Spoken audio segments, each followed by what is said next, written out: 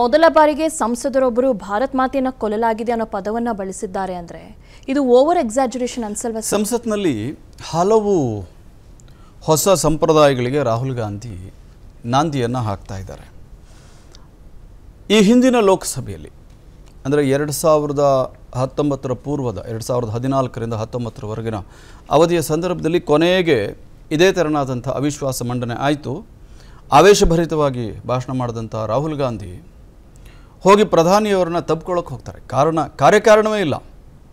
ನೀವು ಒಂದು ಕಡೆ ವ್ಯಗ್ರವಾಗಿ ಬಾಯಿಗೆ ಬಂದಂಥ ಪದಗಳನ್ನ ಬಳಕೆ ಮಾಡಿ, ಭಾಷಣ ಮಾಡಿ, ಹೋಗಿ ಅದೇ ವ್ಯಕ್ತಿನ ತಬ್ಕೊಳ್ಳೋದು ಅದಕ್ಕಿಂತ ದೊಡ್ಡ ವಿರೋಧಾಭಾಸ ಏನೊಂದಿಲ್ಲ. ಅದಕ್ಕಿಂತ ಹೆಚ್ಚಾಗಿ ಒಂದು ಪ್ರೋಟೋಕಾಲ್ ಲೋಕಸಭೆಯಲ್ಲಿ ಅಥವಾ ಪ್ರಧಾನಮಂತ್ರಿಯನ್ನು ಹಾಗೆ ಏಕಾಏಕಿ ಇವರು ಹೋಗಿ ತಬ್ಕೊಳ್ಳೋದಕ್ಕೆ ಪ್ರಯತ್ನ ಮಾಡಿದ್ದು.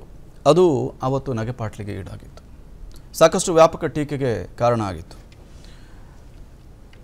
ಈ ಬಾರಿ ಎರಡು ಸಾವಿರದ ಈ ಈ ಹತ್ತೊಂಬತ್ತರಿಂದ ಎರಡು ಸಾವಿರದ ಇಪ್ಪತ್ನಾಲ್ಕರ ನಡುವಿನ ಈ ಲೋಕಸಭೆಯ ಕೊನೆಯ ಸ ಹಂತದಲ್ಲಿ ರಾಹುಲ್ ಗಾಂಧಿ ನಿನ್ನೆಯಷ್ಟೇ ಅವರು ವಾಪಸ್ ಲೋಕಸಭೆ ಸದಸ್ಯತ್ವವನ್ನು ಪಡೆದು ಸದಸ್ಯತ್ವವನ್ನು ಪಡೆದು ಲೋಕಸಭೆಗೆ ಪ್ರವೇಶವನ್ನು ಪಡೆದರು. ಇವತ್ತು ಭಾಷಣ ಮಾಡುವ ಸಂದರ್ಭದಲ್ಲಿ ಅವರ ಆವೇಶ ಯಾರು ಎಷ್ಟೇ ಉಗ್ರವಾಗಿ ಮಾತನಾಡೋದಕ್ಕೆ ಅವಕಾಶ ಇದೆ. ಆದರೆ ಪದ ಬಳಕೆ ಇದೆಯಲ್ಲ ಪದ ಬಳಕೆ ಬಗ್ಗೆ ವಿವೇಚನೆ ಇರಬೇಕು ಅಂತ. ಉದಾಹರಣೆಗೆ ಭಾರತ ಮಾತೆ ಹತ್ಯೆ. ನಾವು ಸಾವಿರದ ಒಂಬೈನೂರ ನಲವತ್ತೇಳರಲ್ಲಿ ಭಾರತವನ್ನು ವಿಭಜನೆ ಮಾಡಲಾಯಿತು ಅಂತ ಹೇಳ್ತೀವಿ. ಭಾರತವನ್ನು ಹತ್ಯೆ ಮಾಡಲಾಯಿತು ಅಂತ ಹೇಳಲ್ಲ.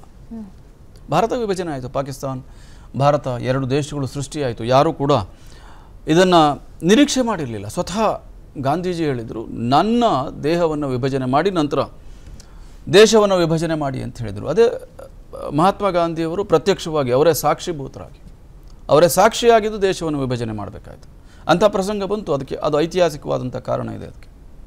ಮತ್ತು ಅದೇ ನಿಟ್ಟಿನಲ್ಲಿ ಎಪ್ಪತ್ತೈದು ವರ್ಷ ನಾವು ಸ್ವಾತಂತ್ರ್ಯದ ಸುವರ್ಣೋತ್ಸವವನ್ನು ಆಚರಿಸಿ ಇನ್ನೊಂದು ವರ್ಷಕ್ಕೆ ನಾವು ಕಾಲಿಡ್ತಾ ಇದ್ದೀವಿ. ಈ ಸಂದರ್ಭದಲ್ಲೂ ಕೂಡ ಆ ವರ್ಟಿಕಲ್ ಡಿವಿಷನ್ ಇದೆಯಲ್ಲ, ಅದನ್ನು ಹಾಗೆ ಪೋಷಣೆ ಮಾಡುವಂತಹ ಒಂದು ವ್ಯವಸ್ಥೆ ನಮ್ಮ ದೇಶದಲ್ಲಿ ಮುಂದುವರೆದುಕೊಂಡು ಬಂದಿರೋದು. ಹಾಗಾದರೆ ಮತ್ತೊಮ್ಮೆ ಈ ದೇಶದ ಮೇಲೆ ಹಲ್ಲೆ ಆಗತ್ತಾ ಅಂತ ಎಲ್ಲರೂ ಆತಂಕಿತರಾಗಿರುವಾಗ ಭಾರತ ಮಾತೆ ಹತ್ಯೆ ಆಗಿದೆ ಅಂತ ರಾಹುಲ್ ಗಾಂಧಿ ಮಾತಾಡಿದ್ದು. ಗೊತ್ತಿಲ್ಲ ಅದನ್ನು ಸ್ಪೀಕರ್ ಕಡತಕ್ಕೆ ಸೇರಿಸ್ತಾರಾ? ಯಾಕೆಂದರೆ ಅವರು ಕೊನೆಯಲ್ಲಿ ಹೇಳ್ತಾರೆ ಭಾಷಣ ಮುಗಿಸ್ಬೇಕಾದ್ರೆ ಆ ಪದವನ್ನು ಹೇಳಿಬಿಟ್ಟು ಮುಗಿಸ್ಬಿಡ್ತಾರೆ. ಯಾಕೆಂದರೆ ನಡುವೆ ಅದನ್ನು ಹೇಳಿದ್ರೆ ಅವರ ಭಾಷಣಕ್ಕೆ ಅಡ್ಡಿ ಆಗ್ಬೋದು ಅಂತಲೋ ಏನೋ ಗೊತ್ತಿಲ್ಲ. ಕೊನೆಯಲ್ಲಿ ಆ ಭಾಷಣವನ್ನು ಮುಗಿಸೋ ಸಂದರ್ಭದಲ್ಲಿ ಹೀಗೆ ಹೇಳಿಬಿಟ್ಟು ಅವರು ಕೂತ್ಕೊಳ್ತಾರೆ. ಎರಡನೇ ದಿನ ರಾಹುಲ್ ಗಾಂಧಿ ಅವಿಶ್ವಾಸ ನಿರ್ಣಯದ ಚರ್ಚೆ ಮೇಲಿನ ಎರಡನೇ ದಿನದ ಚರ್ಚೆಯಲ್ಲಿ ರಾಹುಲ್ ಗಾಂಧಿ ಮಾತಾಡ್ತಾರೆ. ಭಾಷಣದುದ್ದಕ್ಕೂ ಭಾರತ್ ಜೋಡೋ ಯಾತ್ರೆ, ಈ ಹಿಂದೆ ಅವರು ನಡೆಸಿದಂಥ ಭಾರತ್ ಜೋಡೋ ಯಾತ್ರೆಯ ಅನುಭವವನ್ನು ಹಂಚಿಕೊಳ್ತಾರೆ. ಮಣಿಪುರ ವಿಷಯದಲ್ಲಿ ತಾರಾಟಗೆ ತೆಗೆದುಕೊಳ್ತಾರೆ. ಯಾರಿಗೂ ಕೂಡ ಪ್ರತಿಪಕ್ಷಕ್ಕೆ ಹಕ್ಕಿದೆ. ಆದರೆ ಮಣಿಪುರದ ಗಲಾಟೆ ಯಾವ ಕಾರಣಕ್ಕೋಸ್ಕರ ಆಗಿದ್ದು ನಾವೇ ತಜ್ಞರನ್ನು ಇದೇ ನ್ಯೂಸ್ ಅವರಲ್ಲಿ ನಾವು ಮಾತಾಡಿಸಿದ್ದೀವಿ Amnesty international international force China ಇರ್ಬೋದು ಅಮೆರಿಕ ಇರ್ಬೋದು ಸಿ ಐ ಇರ್ಬೋದು. ಭಾರತದಲ್ಲಿ ಸಾಮಾಜಿಕ ವ್ಯವಸ್ಥೆ ಭಾರತದಲ್ಲಿ ಆಂತರಿಕ ಸುರಕ್ಷಾ ವ್ಯವಸ್ಥೆ ಸರಿಯಿಲ್ಲ ಅನ್ನೋದಕ್ಕೋಸ್ಕರ ಸಾವಿರದ ಐದುನೂರಿಂದ ಎರಡು ಸಾವಿರ ಕೋಟಿ ರೂಪಾಯಿಯನ್ನು ವಿನಿಯೋಗ ಮಾಡಿ ನಾಲ್ಕೈದು ವರ್ಷಗಳಿಂದ ನಡೆಸಿದಂಥ ಹುನ್ನಾರ ಇವತ್ತು ಗಲಭೆಯ ರೂಪದಲ್ಲಿ ಆಚೆ ಬರ್ತಾ ಇದೆ ಅಂತ. ಸೊ ಇದನ್ನು ಸ್ವತಃ ಅಲ್ಲಿ ಅಧ್ಯಯನ ಮಾಡಿದಂಥ ಪರಿಣತರು ಹೇಳ್ತಾ ಇರುವಂಥದ್ದು, ಅಲ್ಲಿ ಪ್ರಧಾನಿ ಹೋಗೋದ್ರಿಂದ, ವಿಪಕ್ಷಗಳ ನಾಯಕರು ಹೋಗೋದ್ರಿಂದ ಪರಿಹಾರ ಆಗೋದಾದರೆ ರಾಹುಲ್ ಗಾಂಧಿ ಹೋಗಿ ಬಂದ ನಂತರ ಅಲ್ಲಿ ಶಾಂತಿ ನೆಲೆಸಬೇಕಿತ್ತಲ್ಲ? ರಾಹುಲ್ ಗಾಂಧಿಯವರು ಹೋಗಿ ಬಂದ ಮೇಲೆ ಯಾಕೆ ಮಣಿಪುರದಲ್ಲಿ ಗಲಾಟೆ ಜಾಸ್ತಿ ಆಗ್ತಾ ಇದೆ? ಅದನ್ನು ಪ್ರಶ್ನೆ ಮಾಡಬೇಕಲ್ಲ? ಸೊ ಮಣಿಪುರದ ಗಲಾಟೆಗೆ ಏನು ಸ್ಪೆಸಿಫಿಕ್ ಆದಂಥ ರೀಸನ್ನು ಅದಕ್ಕೆ ಪರಿಹಾರ ಏನು? ಸೂಕ್ಷ್ಮವಾದಂಥ ವಿಚಾರಗಳನ್ನ ಹೇಗೆ ಪರಿಹರಿಸಬೇಕು? ಯಾಕೆ ಗಡಿಯುದ್ದಕ್ಕೂ ಈ ಥರದ ಈ ಥರನಾದಂತಹ ವ್ಯವಸ್ಥೆ ಮತ್ತು ಈಶಾನ್ಯ ರಾಜ್ಯಗಳಲ್ಲಿ ಯಾಕೆ ಇವತ್ತು ಕ್ಷೋಭೆ ಸಣ್ಣ ಪುಟ್ಟ ರಾಜ್ಯಗಳಲ್ಲೂ ಉಲ್ಬ ಉಲ್ಬಣಿಸ್ತಾ ಇದೆ? ಇದನ್ನು ಯೋಚನೆ ಮಾಡ್ತಾ ಇರಬೇಕಾದಂಥ ಸಂಗತಿ ಮತ್ತು ಇಲ್ಲಿ ಆಡಳಿತ ವಿಪಕ್ಷ ಎಲ್ಲರೂ ಒಟ್ಟಾಗಿ ದೇಶ ಸಂಕಷ್ಟದಲ್ಲಿದೆ. ಯಾವುದೋ ರಾಜ್ಯದಲ್ಲಿ ಪೊಲೀಸು, ಮಿಲಿಟರಿ ಎಲ್ಲವನ್ನೂ ಮೀರಿ ಒಂದು ಘಟನೆ ನಡೀತಾ ಇದೆ ಅಂತಂದರೆ ಅದನ್ನು ಹೇಗೆ ನಿಯಂತ್ರಣಕ್ಕೆ ತರೋದು ಅಂತ ಸಹಕಾರದಿಂದ ಯೋಚನೆ ಮಾಡಬೇಕು.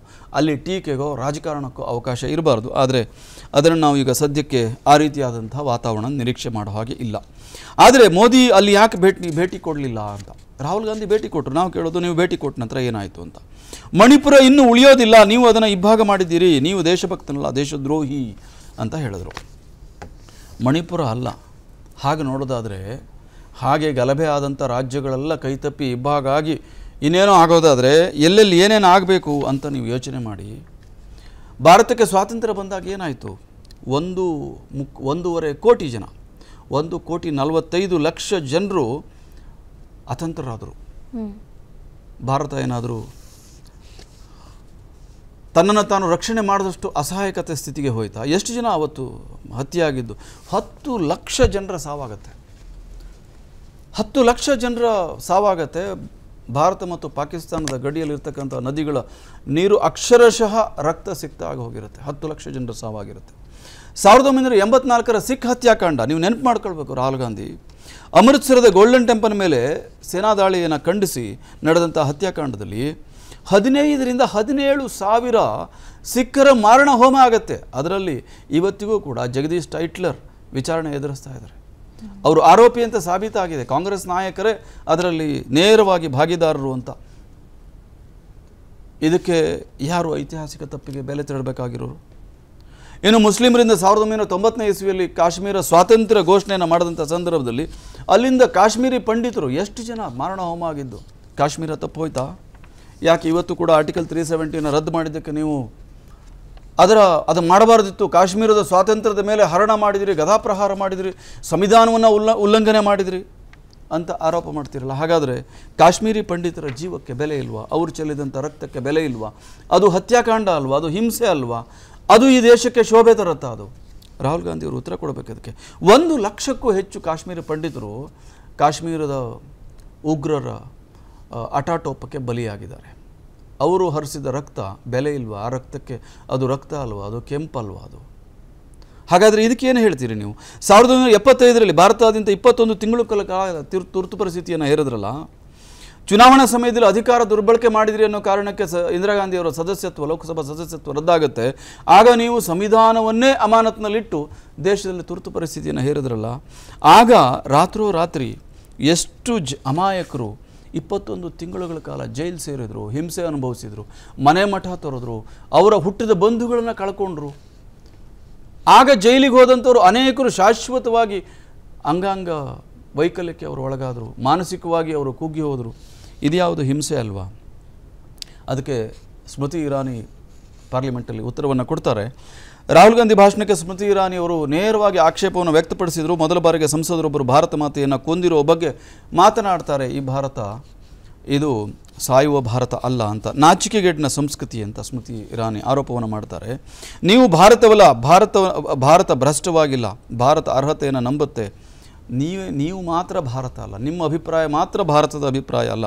ಭಾರತಕ್ಕೆ ವಂಶಾಡಳಿತ, ರಾಜ ಪರಂಪರೆ ಇದು ಎರಡರಲ್ಲೂ ಕೂಡ ನಂಬಿಕೆ ಇಲ್ಲ ಅಂತ ಪರೋಕ್ಷವಾಗಿ ರಾಹುಲ್ ಗಾಂಧಿಯವರ ಕುರಿತಾಗಿ ಮಾತಾಡ್ತಾರೆ. ಬ್ರಿಟಿಷರಿಗೆ ಹೇಳಿದ್ದ ಮಾತನ್ನು ಮತ್ತೊಮ್ಮೆ ಹೇಳಬೇಕಾಗತ್ತೆ, ಭಾರತ ಬಿಟ್ಟು ತೊಲಗಲಿ, ಭ್ರಷ್ಟಾಚಾರ ಭಾರತವನ್ನು ಬಿಟ್ಟು ತೊಲಗಲಿ ಅಂತ ನಾವು ಹೇಳ್ತೀವಿ. Quit India.